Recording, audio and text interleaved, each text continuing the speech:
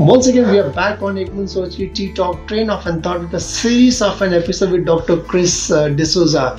We have seen his amazing journey as far as passion was there towards karate more, then how he switches gear uh, to a medicine and uh, making that medicine as his profession, profession, and always like uh, again over there the top performer writing 50 books again practicing and putting it uh, in the book form and also writing those uh, med- uh, research papers 40 research journals in uh, leading uh, medical uh, journal across the world.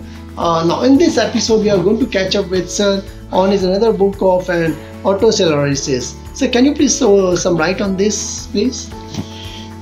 Otosclerosis is a very common problem. And this results in a hearing problem. Now, hearing problems can occur because of a problem in the three bones that are responsible for conduction of sound into the inner ear, or it can affect the inner ear directly.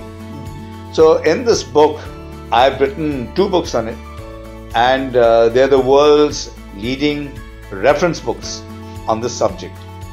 And this problem of, uh, has three causes.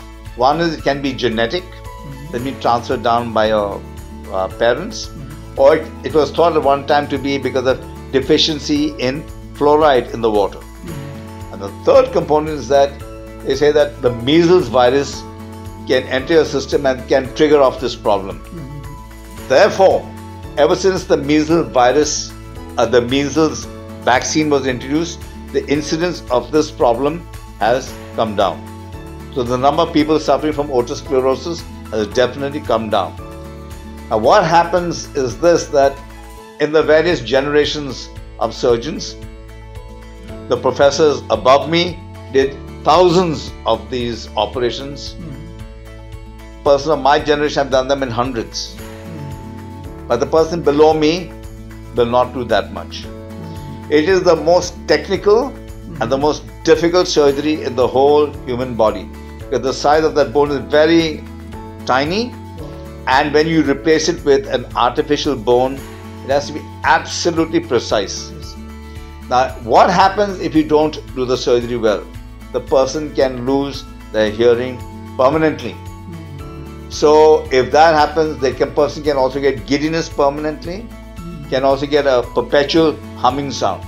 So this is one of the most demanding surgeries in the whole human body so I wrote the first book with Dr. Michael Glasscock, my icon. Mm-hmm. It was a very successful book, mm-hmm. and subsequently I wrote it with the professors at the State University of New York, where I've been associated for the last 26 years. Mm-hmm. I've conducted many workshops in the US, mm-hmm. and all these are validated through certificates that I've got, so that they can it's available on my website to see.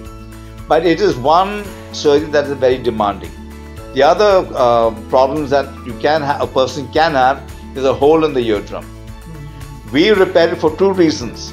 One is to improve hearing, mm-hmm. and number two is to protect the middle ear from outside contaminants. Right. Because if the middle ear gets an infection, mm-hmm. they'll get a discharge coming from the ear. Oh. So by sealing the middle ear, we improve hearing mm-hmm. as well as we protect the middle ear from infections.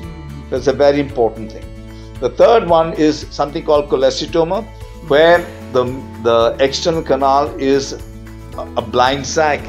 There's no skin at all in the middle ear. Mm-hmm. Sometimes, because of a perforation, that is a hole in the eardrum, skin can enter the middle ear and then start destroying it by scooping it out.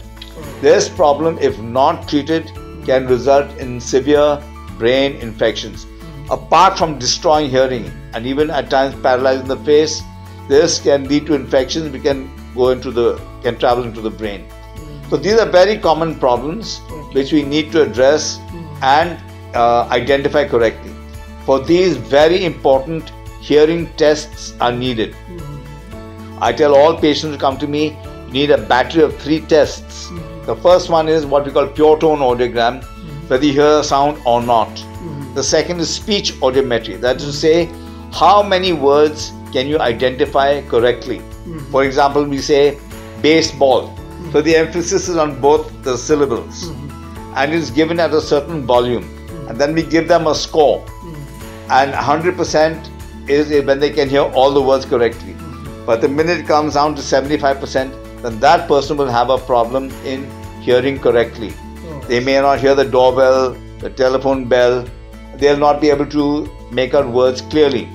And lastly, they go into a crowded room, they'll get you know confused because people are speaking at the same time. Mm-hmm. And the, the third test is called impedance, where we check the pressure of the middle ear. So these things are very important. And of course, accompanied by a good clinical exam, mm-hmm. which is foremost. And then we can choose imaging, that means a CT scan of the ear bones to identify what the problem is.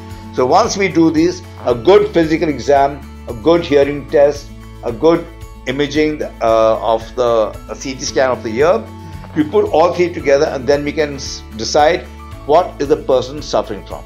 Okay, I think it's an excellent uh, way of practicing, Dr. Chris De Souza like whatever you practice this is put it in a book form like you know we are like normally whatever the things they have got a scientific touch like you know uh, as far as the books which are concerned, exercise you practice and you put it in book form you write a research paper that's what practice is all about and i think hats off sir was paying so much for uh, putting so much of an efforts and giving back to our society in a meaningful way, uh, way.